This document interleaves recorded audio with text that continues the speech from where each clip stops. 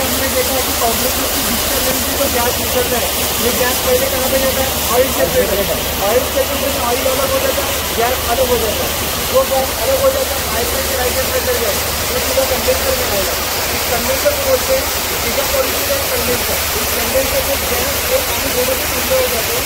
इस कंडेंसर के सबसे नीचे वाले भाग में यहाँ पर वाटर टैंक है। ये वाटर टैंक ये वाटर टैंक में ठंडा पानी रहता है।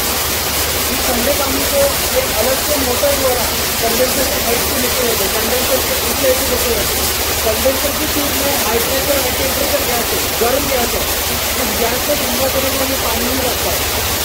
जब ये पानी कंडेंसर की ट्यूब के ऊपर स्प्रेड होता है तो उस वक्त गैस की ऊपर निकलने पर पानी गर्म हो जाता है और गैस ठंडा होता है। जो गर्म पानी मतलब गर्म पानी ट्यूब के ऊपर से आता है, उस गर्म पानी को मोटर की वहाँ पर फ्लश मिलता है ये जो कंडेंसर है, कल के वीडियो में मैंने बताया था कंडेंसर को ऊपर से खुली जगह में फिट कर दे। कंडेंसर को खुली जगह में फिट किया है। कंडेंसर खुली हवा में, जो भी ठंडा हवा है इस ठंडा हवा के अंदर से गर्म पानी को छीने रहता है। इसलिए कंडेंसर को बोलते हैं इवेपोरेटेड कंडेंसर मतलब ये जो कंडेंसर है, ये कंडेंसर पानी और गैस दोनों को भी ठंडा करता है।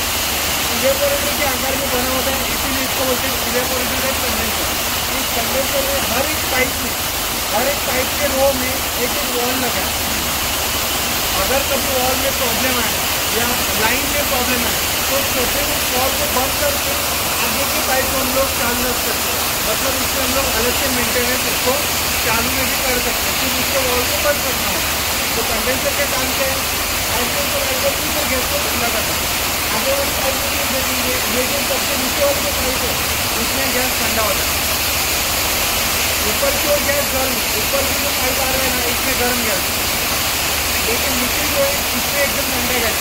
High pressure low temperature gas.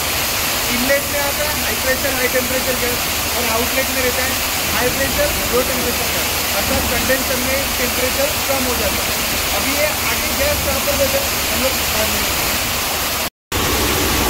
अभी इससे पहले हम लोगों ने क्या देखा? कंडेंसर इवेपोरेटेड टाइप कंडेंसर इस कंडेंसर के ऊपर कंडेंसर के ऊपर वाले भाग में पानी होता है स्प्रिंकलिंग होता है। ये जो पानी कंडेंसर के जिसके ऊपर गिरता है, वो पानी ऊपर जाता कहाँ से? इस पंप में है। इसको बोलते हैं prepaid water pump centrifugal water pump ये सेंट्रीफ्यूगल मोशन में ये जो आप यहाँ पर देख रहे हैं, ये सेंट्रीफ्यूगल फोर्स है और ये मोटर है थ्री फ़ेज़ की मोटर इस मोटर के सेंट्रीफ्यूगल मोशन द्वारा इस टैंक में से, देखिए यहाँ पर पाइप रहे हो इस पाइप में से पानी ऐसे इस मोटर में आएगा यहाँ से इसे पानी सेंट्रीफ्यूगल फोर्स के ऊपर उठेगा। और ये जो पानी पाइप है, इस पाइप में से पानी ऊपर की ओर जाएगा। पानी जब ऊपर जाएगा तो वहाँ पर कंडेंसर की के ऊपर गिरेगा। वापस कंडेंसर की के ऊपर गिरने के लिए पानी धीरे धीरे नीचे आता है वाटर टैंक में। वाटर टैंक के पानी को पुनः वापस हाइट से पहुँचाने के लिए यहाँ पर मोटर लगाई जाती है। ये यहाँ पर मोटर है। अगर इसमें से कोई भी वाटर पंप बंद हो जाए तो कंडेंसर का टेम्परेचर डाउन होने में समय लगेगा।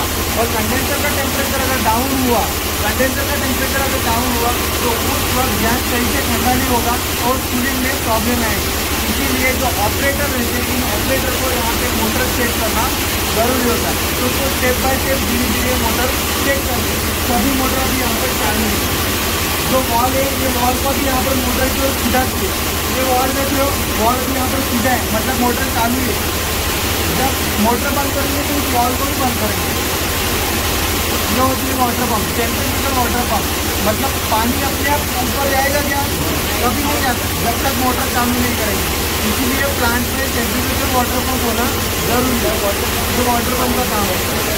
ओके अभी आगे वाले भाग में हम लोग देखेंगे जो गैस कंडेंसर के अंदर जो ठंडा गैस होता है। ये गैस कहाँ पे जाता है? लिक्विड रिच्योर लिक्विड हम लोग आज वाले बात में देखेंगे।